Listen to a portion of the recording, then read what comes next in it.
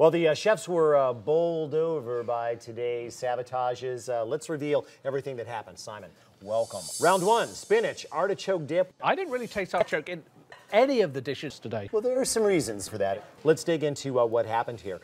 The winner of this horrible, miserable sabotage was able to swap out all three of their opponents' artichoke hearts for either a whole artichoke, a bunch of raw artichoke leaves, or a bowl of dehydrated artichoke hearts. Oh. Yeah. Do you want to guess who got what? Chef Lewis got the artichoke leaves. Yes. Because he bloody put one on top of his dish. For the record, garnishes are not ornaments, they have a purpose. No. If you can't eat it, don't put it put on it on plate. there. The whole artichoke, I'm going to say, went to Chef Jacqueline.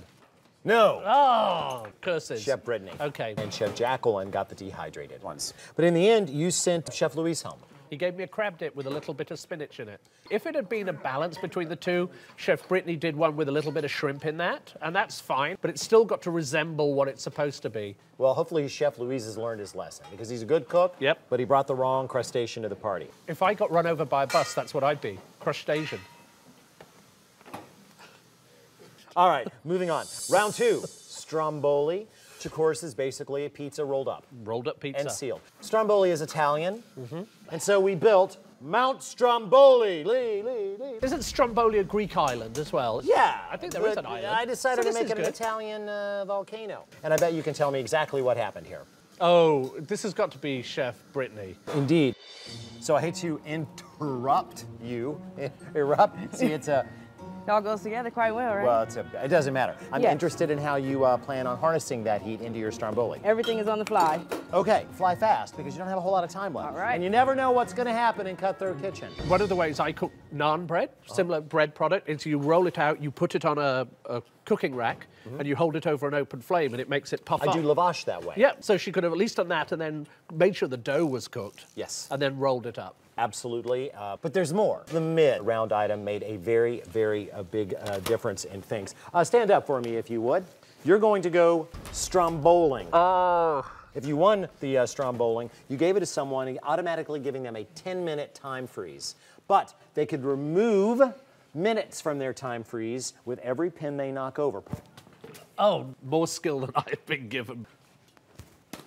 Oh. So you would have had a nine minute hold. Who got stuck with it? It's got to be Chef Brittany. Because hers was all a complete mess. Yeah. And she didn't knock over any pins. So she had a full 10 minute sit out. Oh, and when she bless her. finally ran back in to finish cooking her stromboli, she had five, count them, five minutes. Three, two, one, go. The plan right now is to get this stromboli rolled up and cooking. We had to deviate a little bit from the full idea, but we're not going to deviate from the dish.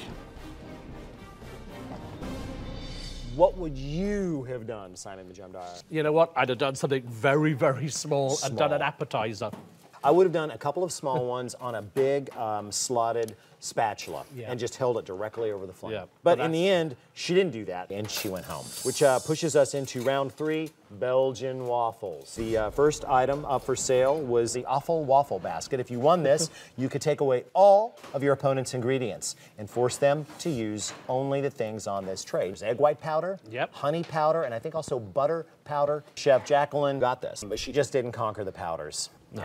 But it could be done if you took the egg white powders, made an egg foam or meringue essentially, to leaven the rest of the dough composed mostly of very, very finely milled crackers and a strawberry low-fat milk. Basically, what Alton's saying is you have to watch every episode of Good Eats, and then you would know how to do this. No, because we never dealt with powdered stuff. All right, next up, Belgians may have created the Belgian waffle. They also created the saxophone. It was won by Chef Jacqueline. She gave it to Chef Brian, and he had to mix his batter inside a saxophone. Words you never thought you'd ever hear anybody say. It's not nearly as bad as you think. What you have to do, though, is you've got to use some plastic wrap to wrap around to hold these keys down. Ah. Then I would have used just a very small whisk. But in the end, he actually messed with it so much he overbeat the dough. It's- Yeah. Well, that's probably why they were chewy. And as for Chef Jacqueline, she made something that you thought tasted fine, but that just wasn't a waffle. Actually, no, it wasn't. And in the end, you can say something tastes good, you can still win that way. But if it's so far removed and the other person is so close, Right. they've got to win. So Chef Brian walks out of here a winner. Please keep watching Cutthroat Kitchen on Food Network, and then afterward, come here to foodnetwork.com/cutthroat and find out uh, all the wonderful things that the judge missed during the competition. Go download some recipes or something.